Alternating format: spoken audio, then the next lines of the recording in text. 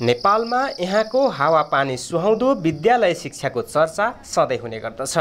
आज हामी तपाईँहरूलाई त्यस्तै एउटा विद्यालयमा लैजाँदैछौँ। यस विद्यालयमा पुग्ने जोसुकैले पनि वाह यस्तो पो विद्यालय भन्ने छन् झट्ट हेर्दा खेतबारीमा सानो सानो समूहले काम गर्दै गरेको जस्तो देखिने यो दृश्य एउटा शैक्षिक संस्थामा भएको विद्यार्थी क्रियाकलाप हो। बालबालिकाहरू यो सिकाइ क्रियाकलापमा निकै उत्सुक देखिन्छन्। उनीहरू प्याजबारीमा उम्रेको झार उखेल्दैछन्। यसरी काम गर्दै उनीहरू विज्ञान अङ्ग्रेजी वातावरण र कृषिको ज्ञान पनि लिँदैछन्। किराले के खान्छ भन त? अर्को कुन मित्र खान्छ? किरा कुन पो यहाँ कहाँ छ? अनि फटेङ्ग्रा कहाँ छ? फटेङ्ग्रा कहाँ छ? हेर। सानो त्यसमा? बच्चा छ। कहाँ छ? फटेङ्ग्रा देख्यौ। इङ्ग्लिसमा के भन्छ यसलाई? Grasshopper grasshopper spelling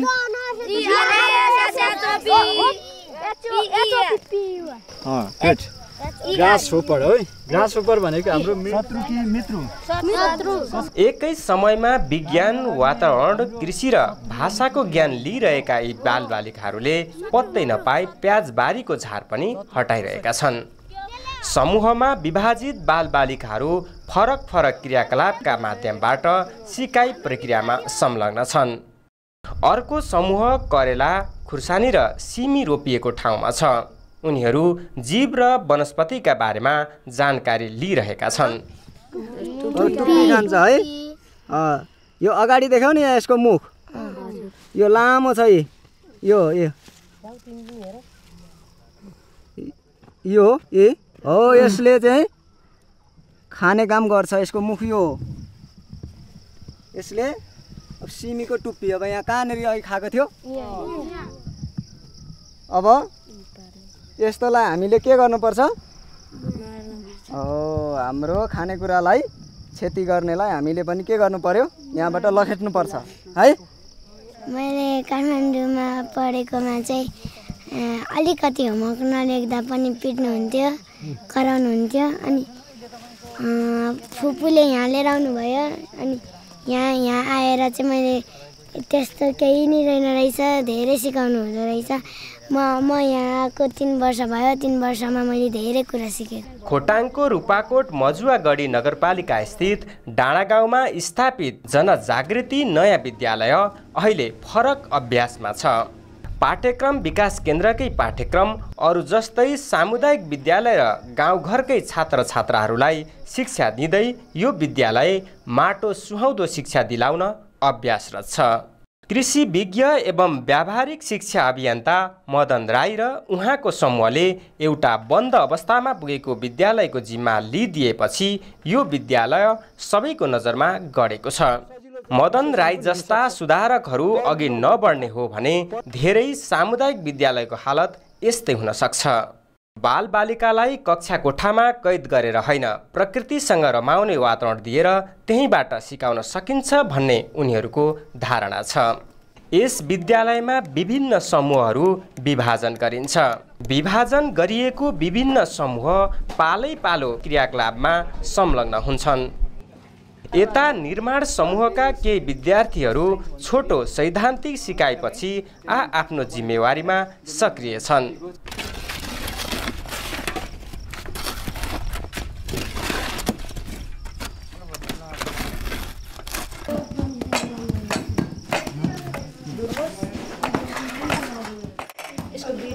यस्ता दृश्य देखेपछि प्रष्ट हुन्छ बालबालिकाहरूमा अथा क्षमता छ। उनीहरू उत्प्रेरित हुँदै सिक्न चाहन्छन्।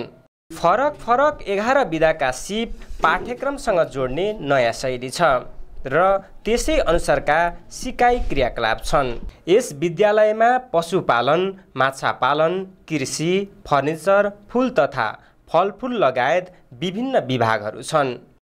उत्पादनसँग जोडिएका र विद्युतीय क्षेत्रका छुट्टा छुट्टै विभागको व्यवस्था छ। यहाँ सबै बालबालिकाहरूलाई समय तालिका अनुसार सबै क्षेत्रको सिप सिक्ने अवसर छ। यहाँ शिक्षक र विद्यार्थी चिन्न केही क्रियाकलाप हेर्नै पर्छ। शिक्षकका अलावा दाई दिदीले भाइ बहिनीलाई सिकाउने परिपाटी छ। रमाइलो पक्ष यहाँ जान्नेले अरूलाई सिकाउने हो। नर्सरीमा बालबालिकाहरूले आफ्नो तह अनुसारको गणित विज्ञान वातावरणका कुरा स्थलगत रूपमै छोएर हेरेर र अनुभव गरेर सिक्छन्। अब यसमा अब यसको जस्तो यो लम्बाइ चौडाइ उनीहरूले नाप्न सिक्छ। अनि अब यसको लम्बाइ चौडाइ कति छ भन्ने थाहा भएपछि उनीहरूले एरिया पनि निकाल्न सक्छ यसमै नापेर। जस्तो अब यसको एरिया कति छ भन्दाखेरि लम्बाइ नाप्ने यता चौडाइ नाप्ने। त्यसलाई अब गुणन गरेपछि आइहाल्यो। यसरी नै सिकाउने हो। जस्तो अब यहाँनिर अब यो जस्तो कतिवटा अब एउटा लाइन कोर्ने अनि अब अर्को लाइन कोर्ने भनिसकेपछि कति कति फरकमा कोर्ने जाँदाखेरि अब यहाँ कतिवटा लाइन भयो भन्ने उनीहरूले अब गन्न पनि सक्यो। अनि अब जस्तो यो कतिवटा ब्याङ्क भयो अब तिनीहरूको पनि त्यसै गरी हामीले सिकाउन सकिन्छ। जस्तो बिउको पनि अब यो एक मिटर चौडाइको छ भने एक लाइनमा अब दुई दुई सेन्टिमिटरको फरकमा बिउ खसाउने भनिसकेपछि कतिवटा खस्यो भन्दाखेरि सरदर पचासवटा भन्ने हुन्छ भने अब यहाँनिर चालिसवटा लाइन छ भने कति बिउ खस्यो भन्ने कुरा एभरेज उनीहरूले निकाल्न सक्छ यसरी नै सिकाउँछौँ हरेक शिक्षक पुस्तकभन्दा पाठ्यक्रमको गहन अध्ययन गर्छन् र त्यसलाई स्थलगत अध्ययन मार्फत सिप र व्यवहारसँग जोडेर सिकाइलाई स्थायी बनाउन सहयोग गर्छन्। बालबालिकाहरू आफ्नो रुचि अनुसार सिक्न सक्छन्। यहाँ यस्तै वातावरण छ। यी विद्यार्थी इन्जिनियरिङ वर्कसपको छेउको आरणमा मुर्चुङ्गा एलम्बर जस्ता बाजा बनाइरहेका छन्।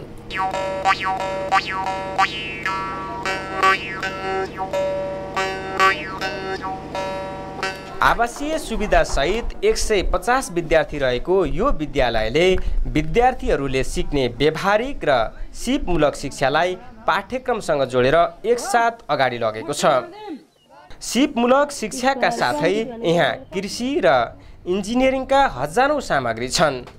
सामग्री भण्डारमा विद्यार्थी नै आलो पालो गरी बस्छन्। प्रत्येक समूहले विद्यार्थीबाटै सामग्री लिने र बुझाउने व्यवस्था मिलाइएको छ। त्यसको नाम हरेक विद्यार्थीले नेपाली र अङ्ग्रेजी दुवै भाषामा भन्न सक्नेछन्। सानैदेखि आत्मनिर्भर हुने अभ्यास गरिरहेका यी विद्यार्थीहरू पालो अनुसार आ आफ्नो जिम्मेवारी पुरा गर्छन्। समूहका लागि आफै खाना बनाउँछन् र हरेक उत्पादन र उत्पादकलाई सम्मान गर्छन्।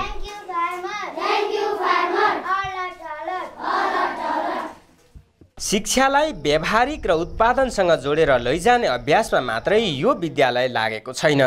यस विद्यालय र यहाँको युवा शिक्षक समूह विद्यार्थीको हेरचाहमा पनि उत्तिकै सक्रिय छ। यहाँ तिस जिल्लाका बालबालिकाहरू रहेका छन्।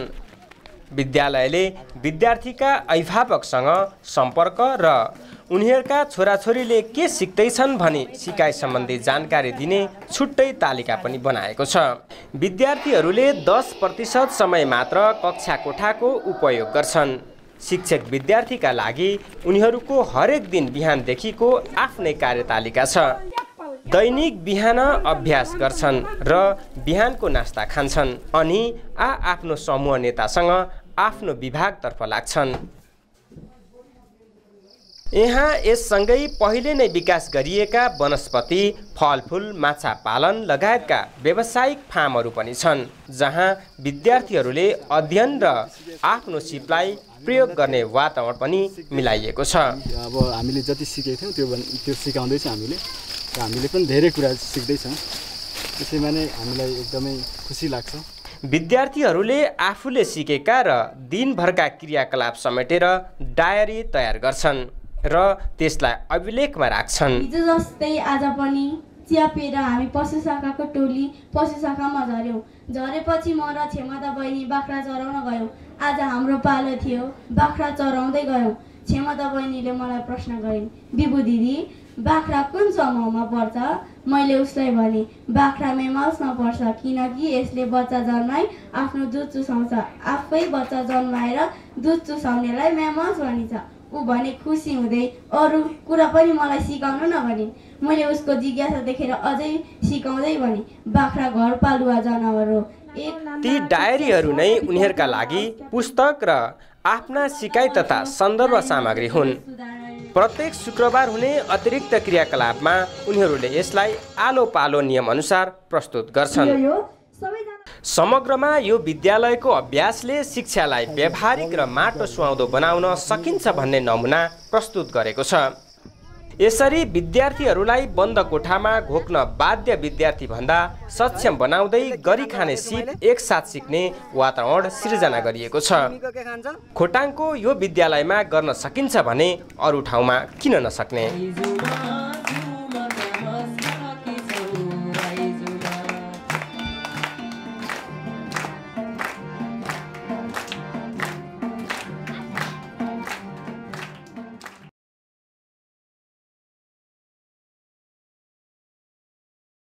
दुःख सुख गरेर मलाई चाहिँ नि ब्याचलर लेभलसम्म पढाउनु भयो।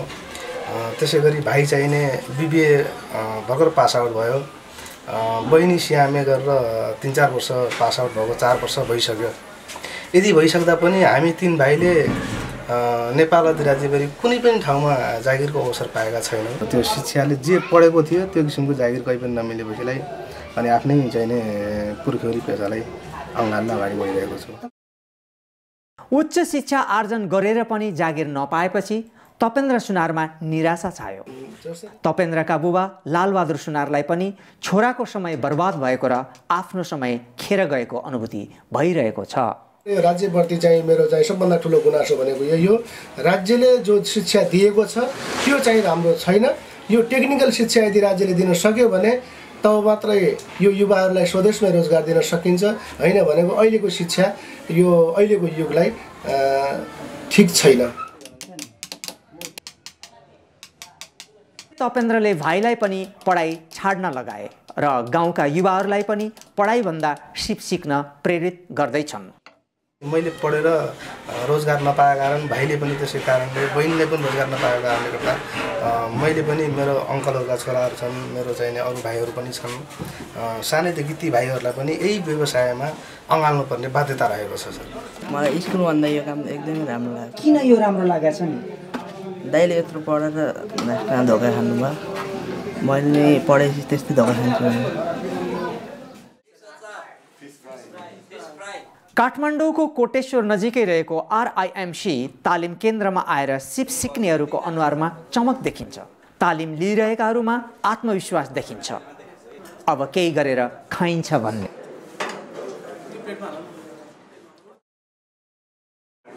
प्लस टू होटल म्यानेजमेन्ट हो ब्याचलर म्यानेजमेन्टमा पढ्यो फाइनेन्समा जब पनि गर्यो होइन अकाउन्ट सेक्टरमा। त्यो हेरेर जब गर्दाखेरि अहिले चाहिँ अब त्यो जब भनेको अरू कसैको थियो। यो भनेको भोलिको दिन आफू यसमा क्वालिफाइड अथवा राम्रो कुक भयो भने सेल्फ पनि गर्न सकिन्छ इन फ्युचर भन्ने। अहिलेको चाहिँ एजुकेसन चाहिँ बिना स्किलको एजुकेसन भयो स्किल भएन। त्यही भएर यहाँ विद्यार्थीले पनि अनेक बाहनामा झुक्क्याएर ढाँटेर पनि उनीहरू स्किलको लागि छिरिरहेछ हाम्रो ट्रेनिङमा अनि यो यस्तो स्किल दिने एजुकेसन जस्तो हस्पिटालिटीको पढाइ हुने अहिले कलेज धेरै छ।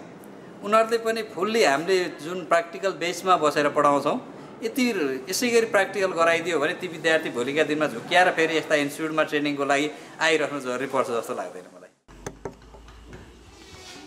सिप जानेका मनोज साक्य ध्यानमग्न भएर काममा लागेका छन्। उनी खुसी देखिन्छन्।